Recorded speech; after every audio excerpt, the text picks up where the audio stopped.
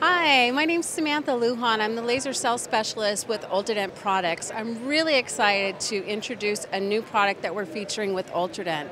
It is a soft tissue diode laser called the Gemini. What's really exciting about our product, it is the first dual wavelength diode laser on the market.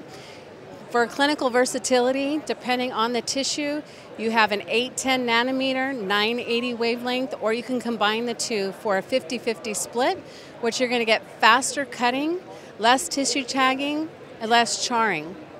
Fantastic product has a luminescent display, which is very stunning as you can see. 19 preset procedures.